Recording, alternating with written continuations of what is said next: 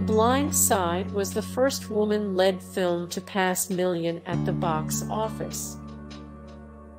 The Blind Side was the first woman led film to pass million at the box office.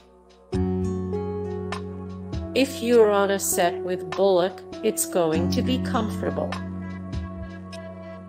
If you're on a set with Bullock, it's going to be comfortable. She goes out of her way to inspire young people. She goes out of her way to inspire young people. Bullock could have starred in some huge movies, but she turned them down.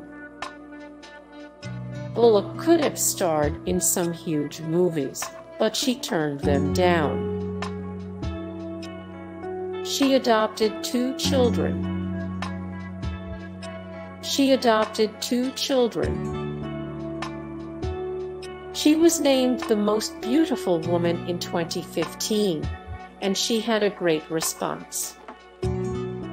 She was named the most beautiful woman in 2015, and she had a great response. She's a longtime Red Cross supporter. She's a longtime Red Cross supporter. She helped rebuild a high school in New Orleans. She helped rebuild a high school in New Orleans. Hey guys, thank you so much for the support and likes and comments down below and also thank you so much for watching and I look forward to see you in the next video then take care. Bye.